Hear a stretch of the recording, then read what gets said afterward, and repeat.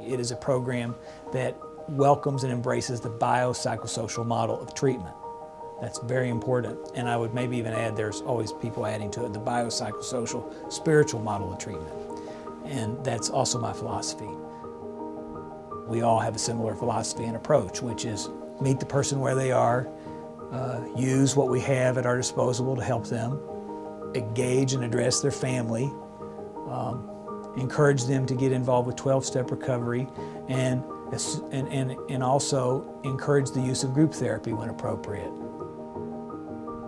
I believe in using the tools of addiction psychiatry and psychiatry to treat the problems that our patients have, as well as uh, using what we know about the brain, um, what we know about interpersonal neurobiology, and how, and how people need to be in groups in order to function properly.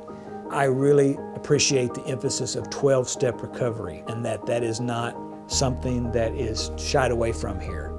It's also not forced down people's throats. There is a real strong desire to integrate the 12-step approach in this program and it's done thoughtfully, which means that I also have to recognize my powerlessness over addiction if I'm working with other people who are powerless over their addiction.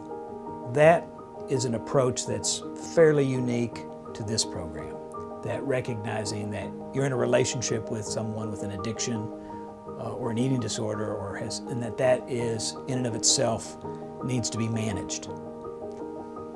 The emphasis on addressing the family system I work with families. When I work with a patient in my private practice, I make space and make time to work with the family members too, because it improves the outcome. And uh, this program does that. All of these things I share with Dr. Kim and have, so that's part of why it's a good match. Someone comes in here to treatment, those things are going to be hopefully in place when they leave here groups, uh, getting psychiatric care if, if necessary, uh, being involved in 12-step recovery, that they're going to get integrated into that while they're here. Knowing that's going to happen is really important.